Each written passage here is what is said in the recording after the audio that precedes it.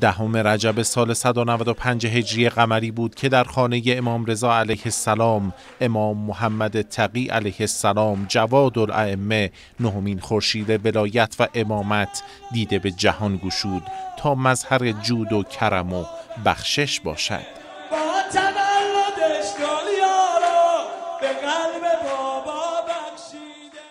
هر کدوم از امام ها با یک ویژگی خاصی مطرح بودن و امام جواد علیه السلام جود و سخایی که داشتن به این صفت معروف شدن و الگوی ما هستند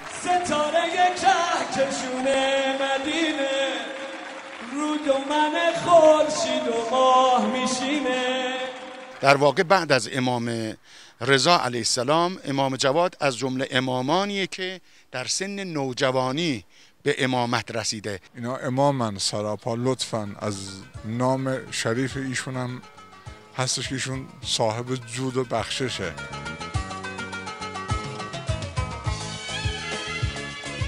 و چه زیبا فرصتی است که در این شب عزیز دعا کنیم و قدم بگذاریم در مسیری که سعادت دنیا و آخرتمان در آن است.